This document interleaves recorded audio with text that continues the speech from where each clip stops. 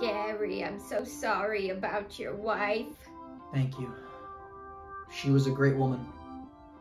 I made you some lasagna. Thanks. Hey, sorry for your loss. I hope you like enchiladas. I made a whole thing of pea soup for you. What's the matter, Gar? Look, when my wife departed, I sent along with the funeral invites a pre-approved list of foods. Please only make foods from that list. I have extras here if anyone needs one. Penne arrabbiata with chicken, penne vodka with chicken, or chicken tendies. Gar, maybe uh, in your time of grief you can branch out a little? Palate-wise?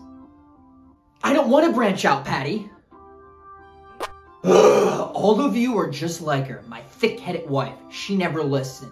Penne arrabbiata with chicken, penne vo- All of you say it! Penne vodka with chicken or chicken tendies. Hey, sorry I'm late. Gary, my condolences. I brought you a Caesar salad. No wonder why she offed herself. A little compassion.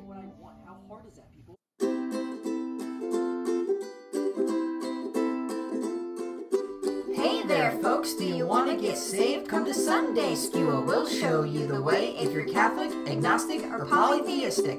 We're here for fun, and that's the ticket.